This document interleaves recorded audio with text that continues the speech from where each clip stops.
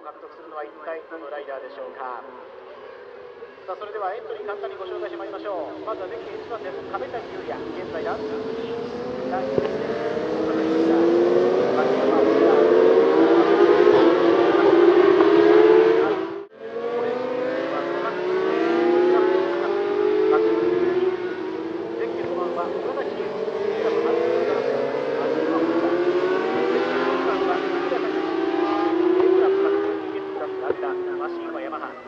牧山8番は吉原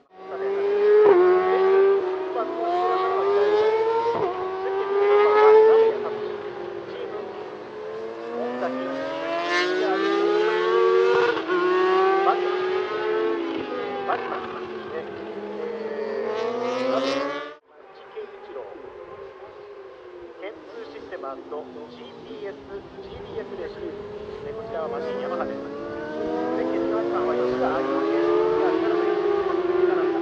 マシンはホンダ。ゼッケ21番は細井祐介、22番は多々良亮、マシンはヤマハです。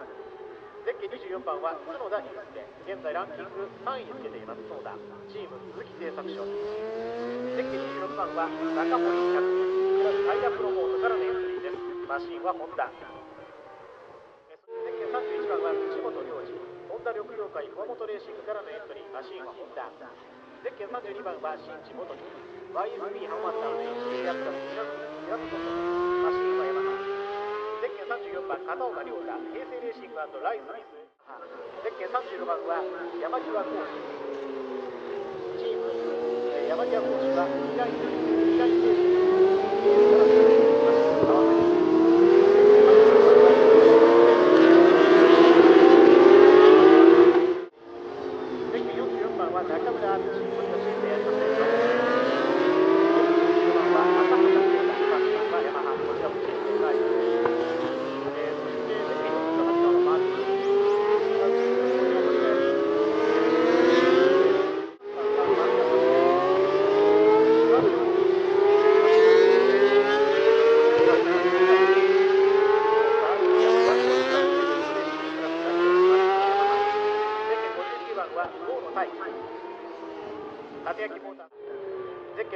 からのモトラボ EJ& ゲスハイト独身マシンはホンダですゼッケン69番は大西マジェスマーティンシン RC ガキヤマシンは吉野 ABX ガンガン117ゼッケン81番は宮崎雅也和焼モーターズ &RC 甲子園ヤマハマシンはヤマハです。ゼッケン86番は荒金和焼モーターズ RC そしてゼッケン99番は広瀬海チーム本崎ミス GTR マシンは本田そしてゼッケン111番は奈良崎そしてゼッケン251番は新圭介アンバのチームタイタンからマシンは鈴木そしてゼッケン846番は現在ランキングトップですアンバのチームタイタンから八代健也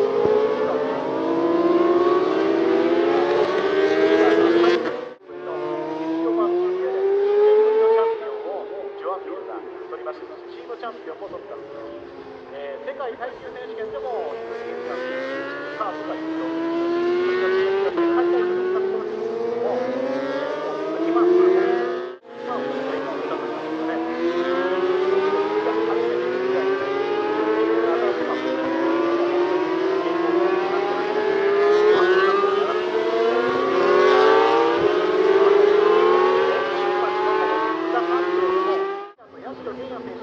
ランキングトップで迎えているわけです。あの安田玄也選手は、亀谷選手に差をつけていますけども、さあ、安田選手は今、トップタイムで来た、2分18秒339、2分18秒339です。ゼッケン846番、八代玄也が2分18秒339でいきなりのトップタイム、もう予選のこの6位から飛ばしているという状況になっています。さあ逃げ切ればもちろんチャンピオン。ですね。ちょっとねあのライダー誰がチャンピオンになったかっていうねあのそういうリストを作ってあるんですけど。チャンピオンって誰だだろうここ最近で言うと10年ぐらいはいなかったと思います。いないはずです。はいチャンスあの今日本でできないのもあってこれ本当に素晴らしいことであのなんていうかな世界選手権のその勢いを見てなんかもらってポジティブなオーラをねもらってあまり小さいじゃないしかないしさらにねあの西田っていう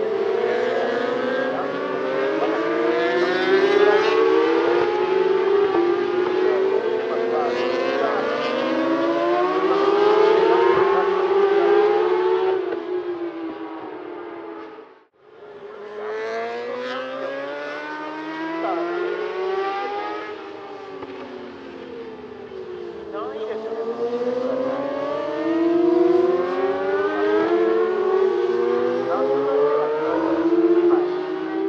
確かあの年は BMW でしたっけね、そして13年、北口はホンダで取ってますし、14年、15年、川崎でしょ、16年、ヤマハ、まあ、ヤマハだと、17年、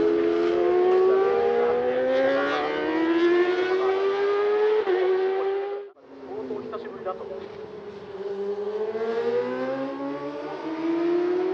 まあただ、今シーズンね、ポールポジションという意味ではですね、えー鈴木は1回ポールポジションを取っています、そしてホンダが1回ポールポジションを取ってますけども、やっぱりここフルコース、GSX-R600 に乗りますヤシロケンヤ、2分17秒08というタイムをマークしていまして、まあ、圧倒的なタイムで、現在、トップタイムです。さて、メジャーでスピードを出しました。あーっと安倍真由紀が転倒したという情報です赤旗ですちょっとどういった転倒だったのかというのはこちらに情報が入ってきておりません安倍真由紀が転倒という情報をいただきました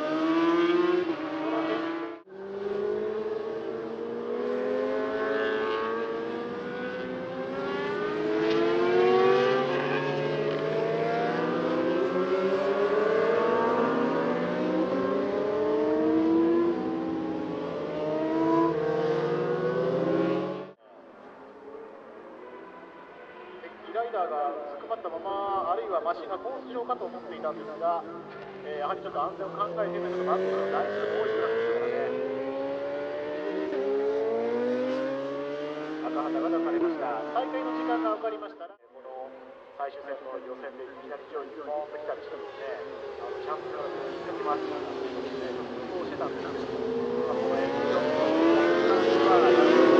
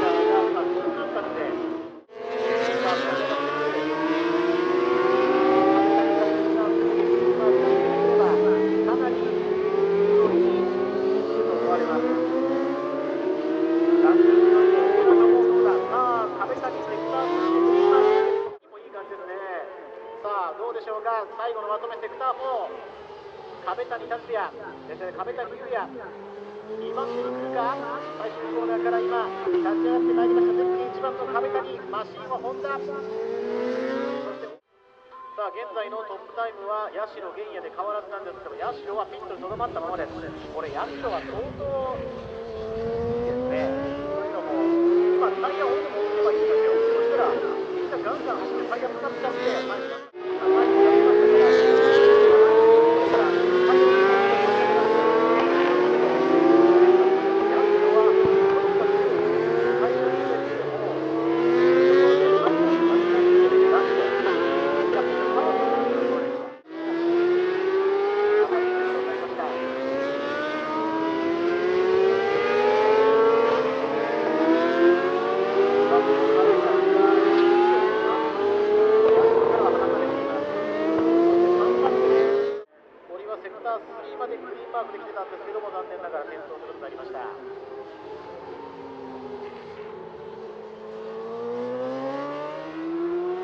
がコース上はかなりクリアな状況になっています。各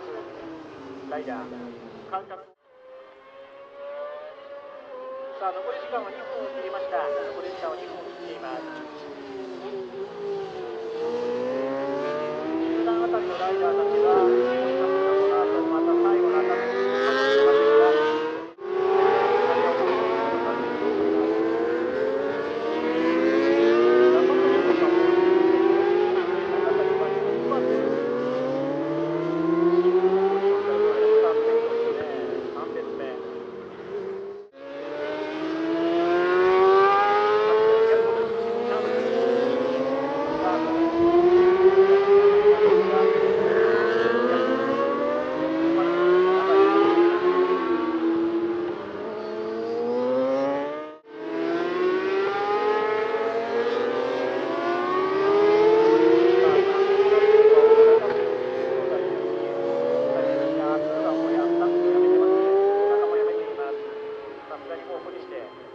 最後は最後まで出して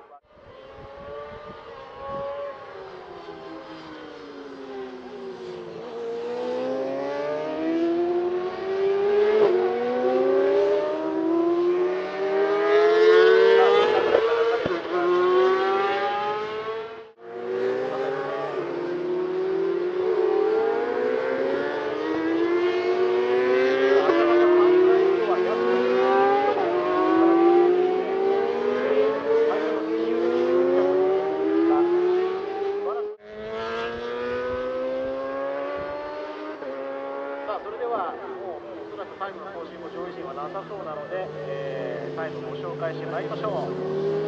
あ、記録が出ましたはい。見事ゴールポジションが特殊の更新2回目のホールです。ゼッケン8